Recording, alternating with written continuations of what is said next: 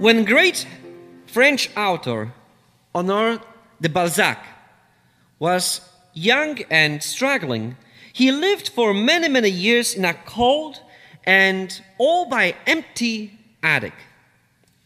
There was no flame in his fireplace, no picture on his walls. However, on the walls he had written with piece of old coil rosewood paneling, on another Venetian mirror, near the ceiling golden leaf molding, besides the windows embroidered drapers, and over the fireplace painting of Raphael. Do you get the idea?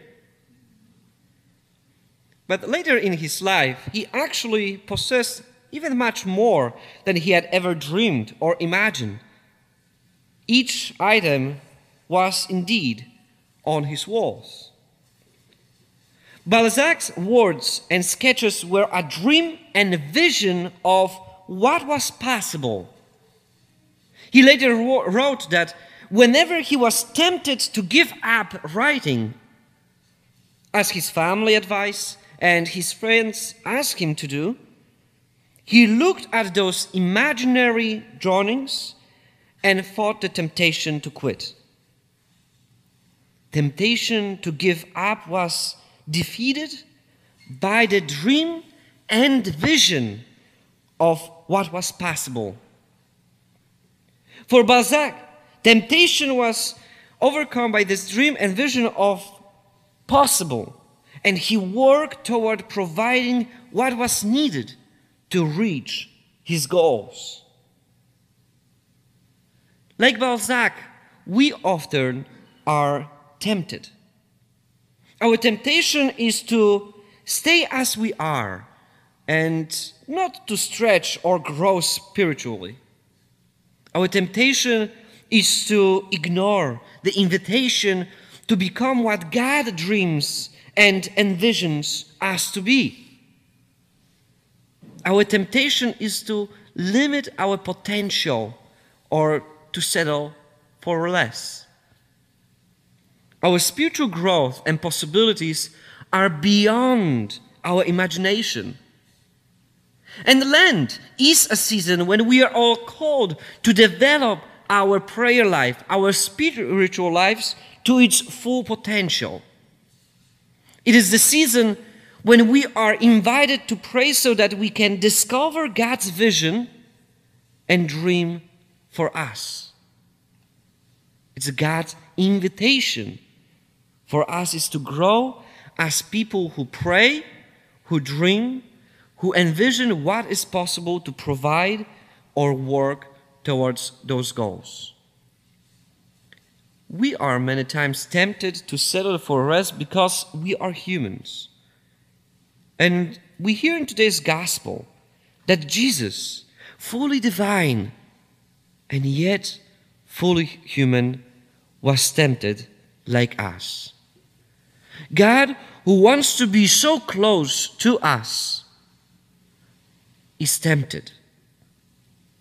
But as we know, Jesus shows us the way how to overcome temptations how to overcome those times when we are tempted to settle for less. Jesus prays in the desert because he begin, whenever he begins his ministry to learn what God's dream and vision was for him. And Jesus was tempted in the desert to settle things as they were rather than to work for things as they would be. But the Jesus overcomes this temptation through his spiritual tools. And we can ask, what are those spiritual tools? That maybe we can use them in our life. So there are three of them. First, Jesus uh, prayed. Jesus learned to turn to his Father in heaven in every situation. Whatever happens, whatever was uh, his difficulty and challenge, Jesus turned to his Father. Second, Jesus was a dreamer and visionary. Jesus learned to keep his dreams and his vision and his motivation force when he was tempted to settle for less. When we think about this beautiful dream and vision that Jesus has for us, we hear his dream love one another, love your neighbor as yourself, do unto others as you would have them do unto you. It's a beautiful thing. And Jesus was also a provider. That's the third tool.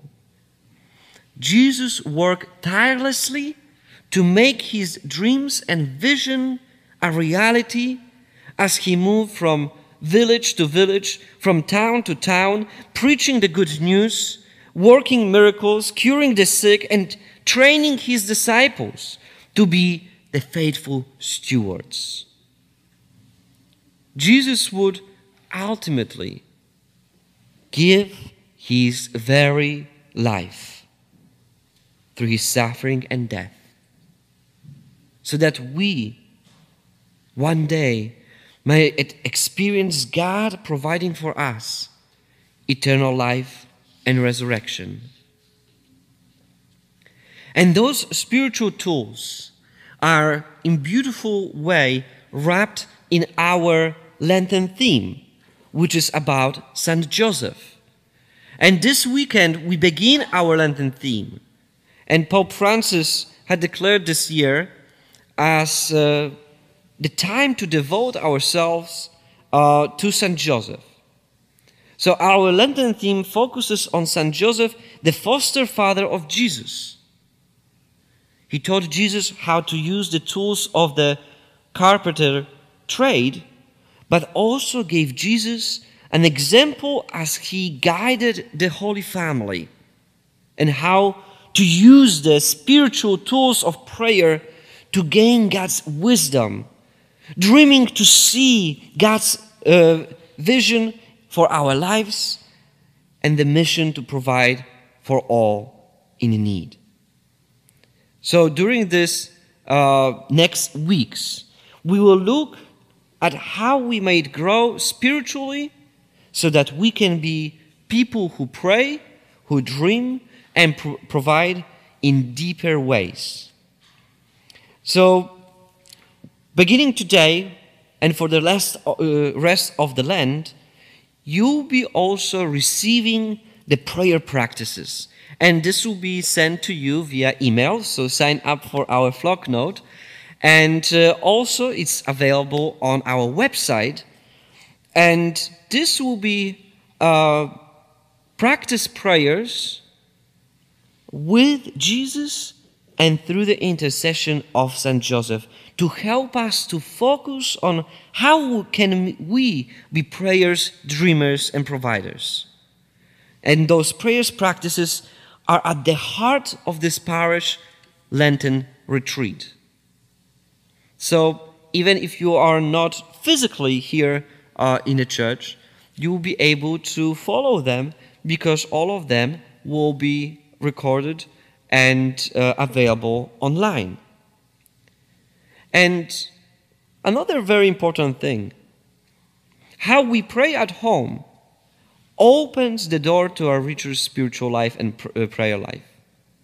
So I think those, those prayers will be a very, very um, important ones. Uh, as you see, we are using the special art for this theme. And uh, though the author is unknown, uh, is the painting of Saint Joseph. And look at this banner showing Saint Joseph and the Holy Family. And you can also notice the prayerful and gentle expression of Saint Joseph's face. Perhaps he's even wondering what it become of this child as he grows under his care.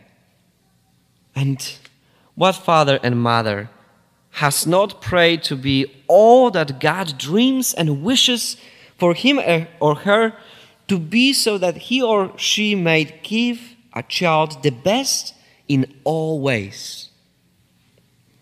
And you may also notice uh, Jesus' strong arm.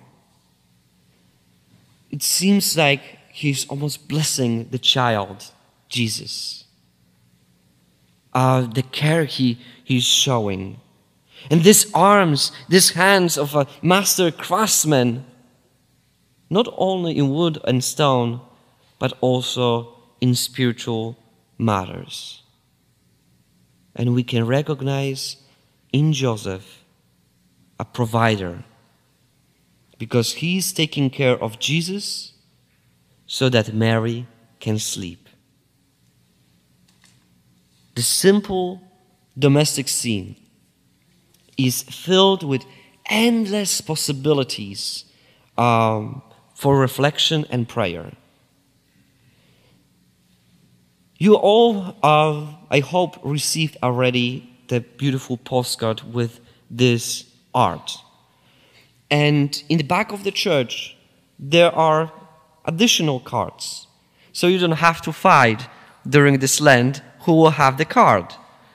So everybody will have one. Um, you can take as many as you wish. Uh, I'm prepared, even if the whole Wayne will have them. I'm ready. We have them.